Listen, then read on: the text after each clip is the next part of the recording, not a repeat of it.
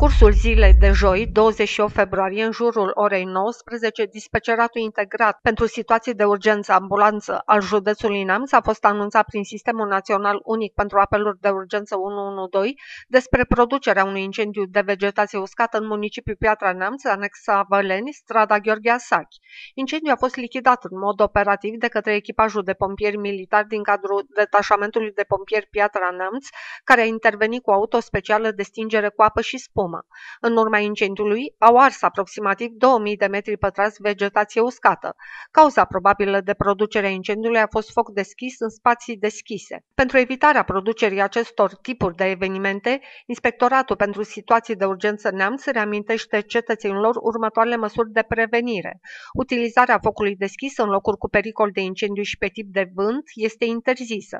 Supravegherea permanentă a arderii, precum și stingerea jarului după terminarea activității asigurarea mijloacelor tehnice pentru stingerea de îndată a focului, respectiv rezervor cu apă, găleți, lopată, sapă, casma, atunci când acesta scapă de sub control, responsabilizarea adulților în ceea ce privește jocul copiilor cu focul și accesul acestora la sursele de foc